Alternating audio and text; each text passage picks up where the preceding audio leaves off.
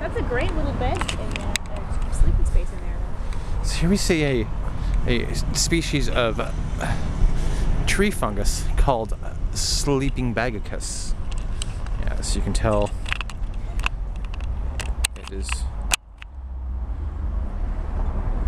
That's beautiful.